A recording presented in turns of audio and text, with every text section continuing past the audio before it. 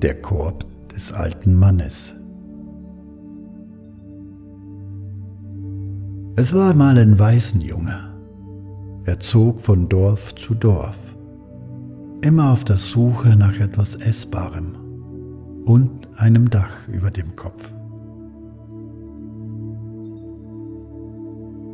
Eines Tages traf der Junge auf einen alten Mann, der ebenfalls von Dorf zu Dorf wanderte. Sie beschlossen gemeinsam weiterzugehen. Der alte Mann trug einen großen, zugedeckten Weitenkorb, der offenbar sehr schwer war.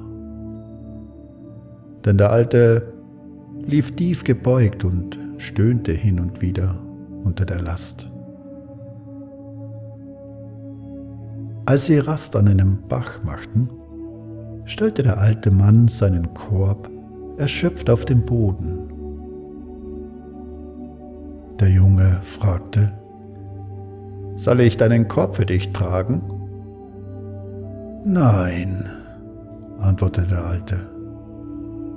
Den Korb kannst du nicht für mich tragen. Ich muss ihn ganz allein tragen. Was ist denn in dem Korb? fragte der Junge, doch er erhielt keine Antwort. Viele Tage wanderten die beiden gemeinsam. Nachts, wenn der Alte glaubte, dass der Junge schlief, kramte er in seinem Korb herum und sprach leise mit sich selbst.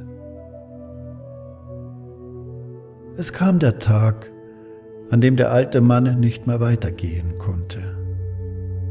Er legte sich nieder, um zu sterben.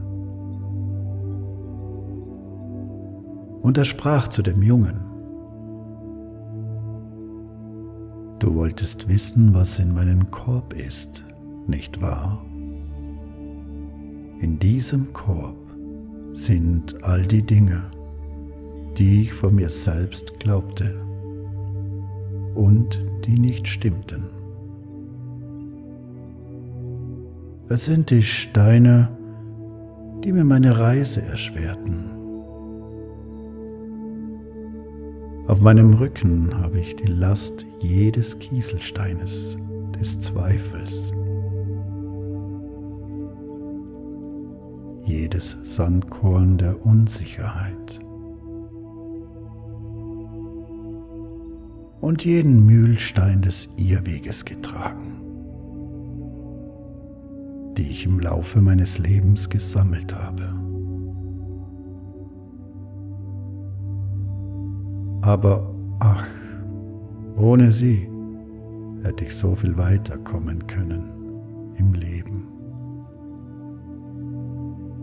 Statt meine Träume zu verwirklichen, bin ich nun nur hier angekommen.